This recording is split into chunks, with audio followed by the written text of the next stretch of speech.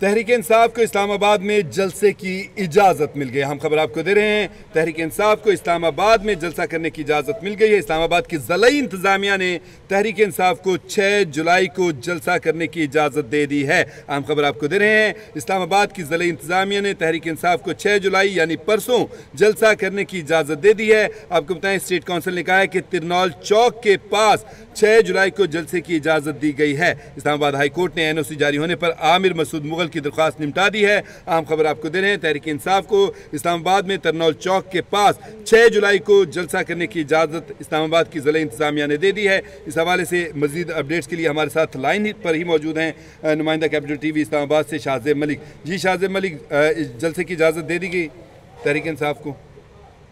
देखिए तरीके इंसाफ को आज बड़ा रिलीफ मिला इस्लामाबाद हाई कोर्ट से। उन्हें जो पीटीआई को, जो जलसे की इजाज़त से जिली इंतजामिया ने पीटीआई को तरनोल चौक के पास छह जुलाई यानी परसों जो है वो जलसा करने की इजाज़त दे दी है।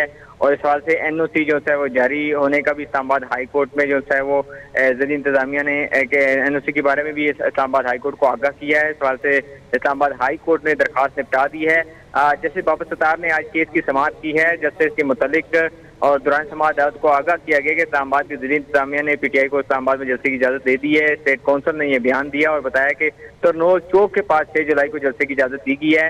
और एनओसी जारी होने पर जो है आमिर मसूद मुगल की दरखास्त निपटाएगी।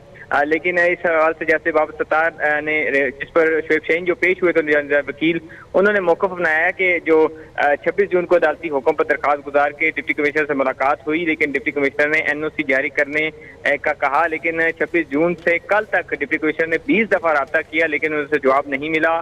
और एनओसी जो है वो इस्लामाबाद हाई कोर्ट में आप जाके बताया आगाह किया गया कि एनओसी जारी किया गया है। जिली इंतजामिया ने आपको जलसे की इजाज़त दे दी है, जैसे बाबा सतार ने रिमार्क दिए और कहा कि हर बात पर झगड़ा नहीं किया जा सकता। जिस पर वकील ने कहा, हमें एन एनएसयू नहीं दिया गया, बल्कि आज एक दिन पहले अदालत को आगाह किया गया, जिस पर हमें जलसे की तैयारी के लिए कुछ वक्त चाहिए, जिस पर जस्टिस बाबा सतार ने रिमार्क दिए कि चले, आप तो बड़ी पार्टी हैं, कुछ घंटों में ही लोगों को निकाल लेंगे। आप क्या कहते हैं, डिप्टी कमिश्नर, आप लोगों को भी जो है वो बाहर खुद निकालें? ये रिमार्क दिए गए जैसे बाबा सतार के जान से, और संभाल के ज़रिए इंतजामिया ने पीटीआई को जलसे देने की जो इजाज़त दे दी, इस बात से जैसे बाबा सतार ने आमिर मुगल की दरखास्त जो है वो निपटा दी है। जी। अच्छा शाहजेब मुझे ये बताइएगा कि आमिर मुगल को जो गिरफ़्तार किया गया है इस इजाज़त देने के बाद गिरफ़्तार किया गया?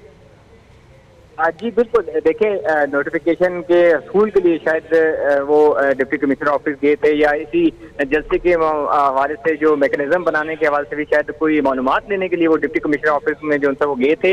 इस हाई कोर्ट के बाद वो जो है डिप्टी कमिश्नर ऑफ़िस की तरफ़ रवाना हुए थे। बहुत शुक्रिया बहुत शुक्रिया शाहजेब मलिक आपने हमें